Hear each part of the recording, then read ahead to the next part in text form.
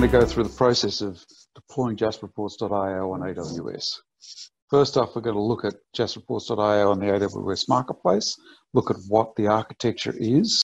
We're going to go through the launch process with the CloudFormation template, and then we're going to test the deployment. So this is the jasperreports.io AWS Marketplace listing. I'm logged into my AWS account here, so I can go to the AWS console, so we'll go to that later. And so I recommend the T2 Medium, the T2 Micro course is cheaper, but doesn't have as much capacity. And then down the bottom, we have the usage information, a link to the CloudFormation template, which we're going to walk through a bit later. There's also links here to the community site, how to launch, and a link to register and download for Jaspersoft Studio.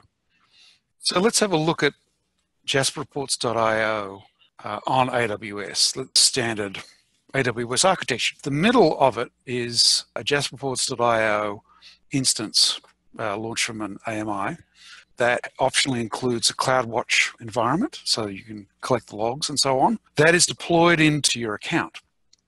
So VPC, subnet, security group is all part of the CloudFormation template we'll be looking at launches. There is also a bucket that's either created or accessed where the, uh, in S3 that has a jasperreports.io repository containing uh, report templates, data source definitions, other content that is used to generate the visualizations and reports. Of course, there is the connectivity to the various data sources that JRIO needs to generate the visualizations. And that can be within Amazon, as well as potentially out on-prem or in cloud. Now, at the front of this, you can see there's the gray arrow. So by default, jasperreports.io has no security or anything like that in it. If you don't change it, would be you know publicly available from your account. You want to put uh, various security arrangements in front of that. So let's run the CloudFormation template. So let's give it a name, Sherman's JRIO intro. Select a size, T2 medium, put in my, my key so that I can SSH in if I really want to. There are samples, data, reports, and you can leave them in there, which we're going to do for now, to there so you can test it out.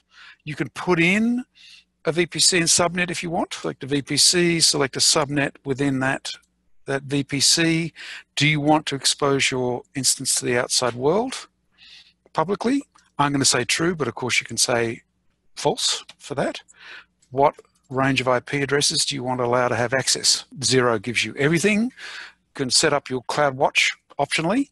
You have to have CloudWatch permissions on your account to allow that to happen. You, if you don't have CloudWatch permissions, that when the create stack goes through, it'll fail. In this case, I'm just going to say, no, I don't want CloudWatch. And finally, you've got the S3 bucket name, if you leave it blank, an S3 bucket will be created.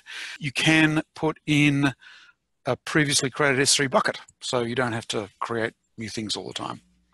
So we'll go next. All okay. I usually put in like a name here, and this is going to be Sherman's JRIO example. Permissions, we you can optionally put that in if you want. Advanced, we say next. There's check this all out acknowledge that the AWS CloudFormation template might create IAM riches, which is, and you hit create. So let's have a look at what the CloudFormation template created. So this is one here. Within it, you can see all the events, not many events, there's not many things being created, the security groups and roles. In this case, I didn't have the CloudWatch logs created, and in the end, it's creating the JRIO instance. The resources it created was the instance and the various roles and security groups. In the outputs of the stack, there is a link. It works, and then we go directly to the demo app. If you've gotten here, the JRIO instance is there and up and running.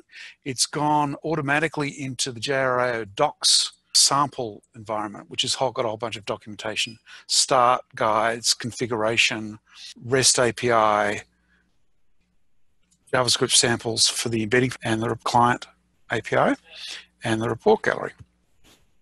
So the quickest thing to do here is to run a report that's sitting in the samples. Go here.